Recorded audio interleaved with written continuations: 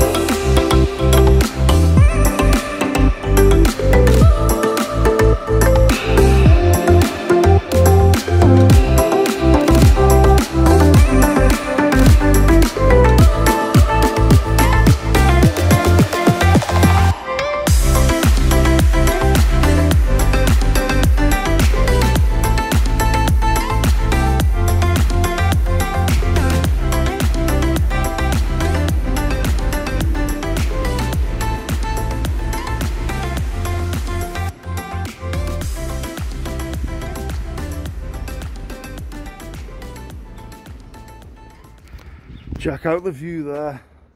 This has got to be one of the nicest views in northern Thailand. It's got to be, well, in my personal opinion.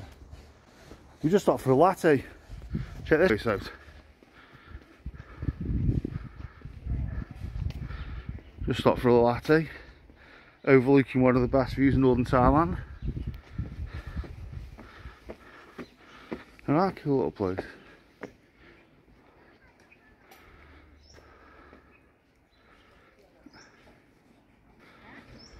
I'm just going to have my latte. We've just come about um, about 15 kilometres out, outside Mae Hong Son. So if you're riding past this way, you got you, you got to stop here.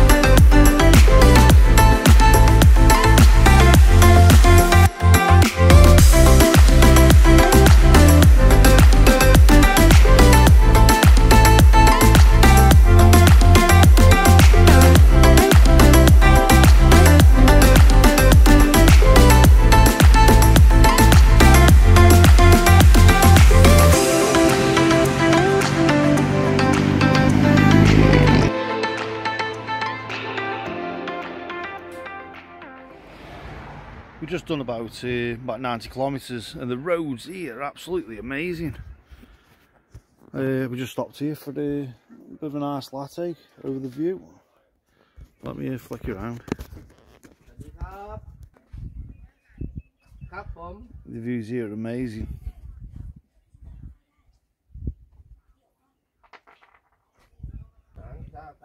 We've got about another 60 kilometres to go.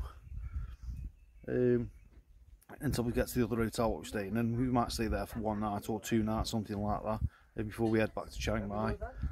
Uh, Chiang Mai so far, I think it's about 260 kilometres away from here. So uh, what we'll do is see back on the road.